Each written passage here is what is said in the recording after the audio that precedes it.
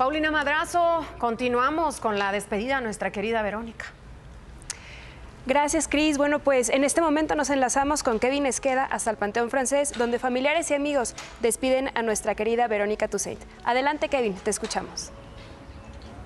Gracias, Paulina. Buenas tardes. Efectivamente, los saludo desde afuera del Panteón Francés. Es en la sala Courier de Azur, donde desde el mediodía no han parado eh, de llegar tanto familiares, amigos, cercanos eh, de Verónica Toussaint y también distintos arreglos florales en homenaje a la memoria de esta gran mujer que no me dejarán mentir. Todos, pues, nos duele su partida. Por mencionarles algunos de los artistas que ya se han dado cita en este panteón, está Jordi Rosado, está Gloria Calzada y, por supuesto, no podía faltar sus compañeros del programa de Qué Chuladas, Mariana, Marlene, Lalo Carrillo y por supuesto Marta Guzmán. Esta última pues incluso no pudo evitar romper en llanto al recordar que dos meses después de que le hayan detectado el cáncer de mama a Verónica Toussaint, a ella también le detectaron el cáncer y es por eso que está un poco más sensible. De los últimos en llegar fue incluso la conductora Paola Rojas, quien también pues estaba bastante consternada. Ella agradeció a los medios de comunicación el estar aquí y también pues nos pidió respetar el duelo que está pasando la familia. Por supuesto, nosotros vamos a seguir atentos a esta cobertura, Paulina,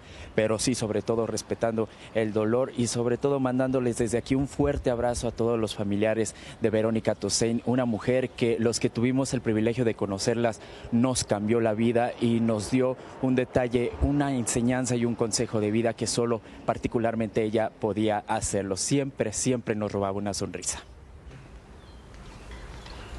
Así es, Kevin, muchísimas gracias por este enlace y pues como dices, su sonrisa, su amor y su cariño está presente en los corazones de todos nosotros.